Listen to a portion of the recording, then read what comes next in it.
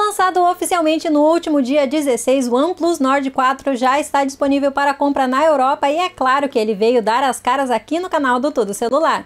Este smartphone traz uma linguagem de design interessante, construção em metal e chipset Qualcomm Snapdragon 7 Plus Gen 3. Além disso, a bateria é grande e outras surpresas a mais. Quer saber quais são? Até o fim do vídeo eu te conto. Então já mete aquele like e vem comigo. Começando pelo design, faz muito tempo que a gente não vê por aqui um smartphone com acabamento em metal na traseira, principalmente no segmento de intermediários. Até porque o vidro se tornou sinônimo de aparelho premium, mas o OnePlus Nord 4 voltou às raízes ao entregar essa construção toda em alumínio. Sim, estamos falando de um aparelho com metal na carcaça também. A única exceção é no topo, uma vez que temos um vidro espelhado para delimitar o módulo de câmeras com flash LED. Mas se engana que esse vídeo tá aqui só por questão estética. Na verdade, ele também serve para ajudar a otimizar o sinal 5G, uma vez que sabemos que o metal não muito na recepção de rede. Os sensores fotográficos estão dentro de dois anéis levemente saltados e eles foram organizados desta maneira para que as antenas pudessem ser posicionadas na região que tem vidro. É uma solução interessante e que, em linhas gerais, faz o OnePlus Nord 4 um aparelho diferente nessa categoria. Nas laterais há botão de energia e volume, além da tradicional chave de acionamento no modo silencioso da OnePlus. A gaveta que suporta dois chips de operadora fica na parte inferior, ou seja, ao lado da porta USB USB-C. Segurar o Nord 4 passa uma boa sensação uma vez que os cantos e as bordas são levemente curvados. O peso total é de 199 gramas e a espessura é de 7,9 milímetros, fazendo com que esse rapaz não pese muito no seu bolso. Na caixa, o OnePlus manda o smartphone, cabo USB, manuais e chave para gaveta de chip. Sentiu falta de algo? Pois é, não há carregador. O OnePlus Nord 4 foi lançado com tela AMOLED de 6,74 polegadas que tem resolução 1,5K e taxa de atualização de até 120 Hz, mas sem ser na modalidade LTPO. Esse painel ainda tem brilho máximo de 2150 nits, suporte HDR10 Plus e uma boa calibração de cores. Importante destacar também que o display consegue responder à interação com dedos molhados. Você pode usar sem medo e isso é muito bom. Além disso, para desbloquear o Nord 4, você pode contar com o sensor de digitais integrado na tela. Ele é ótico e funciona muito bem no dia a dia, mas caso deseje, também é possível configurar o desbloqueio facial 2 3D, mas é claro que você abre mão de um pouco de segurança. Em multimídia, som estéreo com o alto-falante no topo atuando como canal secundário e o volume é alto o suficiente para você ver os vídeos do Tudo Celular sem qualquer problema no YouTube. Agora vamos falar sobre desempenho. O OnePlus Nord 4 foi oficializado com o novíssimo Qualcomm Snapdragon 7 Plus Gen 13 e aqui ele trabalha com 16 GB de RAM e 512 GB de armazenamento interno. Em linhas gerais, esse chipset está um pouquinho abaixo do Snapdragon 8S Gen 3.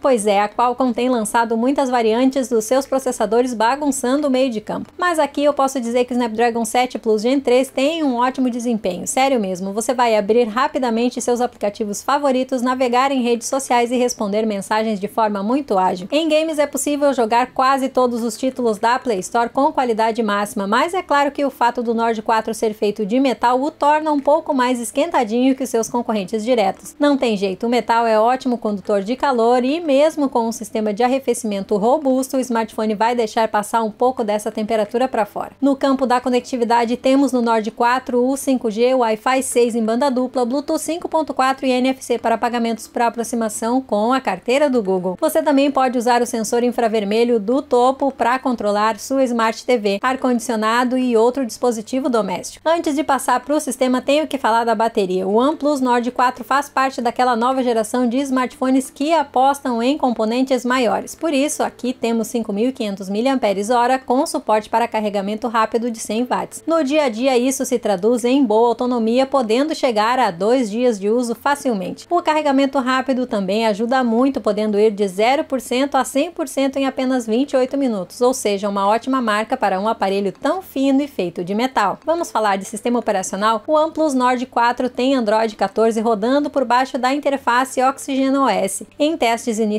foi possível perceber que o software flui muito bem por aqui no Nord 4, principalmente porque o OnePlus apresenta uma abordagem bem mais simples e minimalista do Android. Nesta edição da Oxygen OS, o OnePlus também disponibiliza alguns recursos de inteligência artificial que foram meio que emprestados pela Oppo, já que as duas fazem parte do mesmo grupo. Por isso, temos aqui uma série de funcionalidades baseadas no que o Google oferece, como a remoção de objetos indesejados de fotos, opções para melhorar fotos de grupo e para criar adesivos. Você também pode usar o Gemini para ajudar a escrever mensagens ou textos maiores com simples comandos e muito mais. Outro destaque importante é que o OnePlus Nord 4 deve receber quatro grandes atualizações do Android e mais dois anos extras de updates de segurança. Na prática, o Nord 4 vai até o Android 18 e isso é muito bom, uma vez que ele alcança o Galaxy A55 e no segmento de intermediários perde apenas para o Pixel 8a, que tem a garantia de 7 anos de atualizações. No conjunto fotográfico traseiro, o OnePlus Nord 4 não surpreende e talvez seja a maior decepção dos entusiastas da marca. Vamos lá, ele tem sensor principal de 50 megapixels que passa a ser o Sony Lite A600 com abertura de f1.8 e que também tem estabilização ótica de imagem. Em cenários conhecidos como ideais, como em dias ensolarados ou ambientes bem iluminados, o Nord 4 vai bem com a sua câmera principal. Ele entrega boa captura de cores, detalhes perceptíveis e bom contraste, mas à noite a coisa já piora um pouco e as imagens perdem nitidez e há falhas na exposição. Já o sensor ultrawide de 8 megapixels está aqui para você tirar fotos em ambientes externos de dia. Não tente à noite, porque os resultados não serão bons, é sério. Por outro lado, diferente dos concorrentes que já avançaram para 32 megapixels ou 50 megapixels, o Nord 4 tem sensor de selfie com 16 megapixels, que é basicamente o mesmo da geração passada. Ele vai entregar selfies ok para postagens nas redes sociais e nada além disso.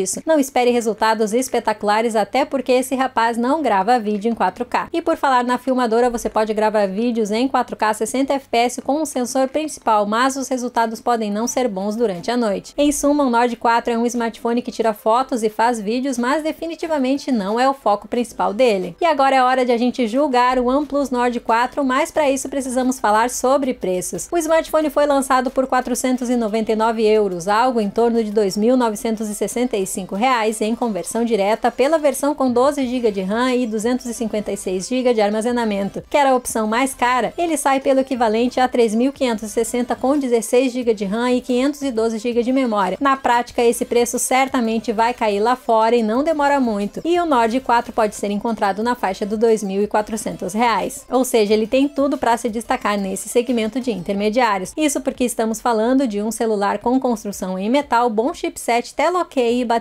grande com carregamento rápido. Isso sem falar na política de software que coloca o Nord 4 no mesmo patamar dos smartphones da Samsung. Mas há alguns problemas por aqui, como a falta de eSIM, a dissipação de calor pouco problemática e as câmeras que perdem para outros aparelhos da categoria. Sim, quando comparado com o Realme GT6, Honor 200 Pro e até mesmo Galaxy A55, o Nord 4 apresenta fotos inferiores. Por isso, se as câmeras não são uma prioridade, muita gente vai preferir pegar um pouco F6, até porque ele tem o Snapdragon 8S Gen 3, que é um pouquinho superior e o seu preço está na mesma faixa do Nord 4. Mas esse é um papo para importadores, até porque a OnePlus não vende seus smartphones aqui no Brasil. E agora eu vou embora, mas antes quero reforçar o pedido de like nesse vídeo e também quero saber a sua opinião sobre o OnePlus Nord 4. Gostou do intermediário da OnePlus? Compraria se fosse vendido no Brasil? Pretende se arriscar em importar? E por esse vídeo é isso, um abraço até a próxima.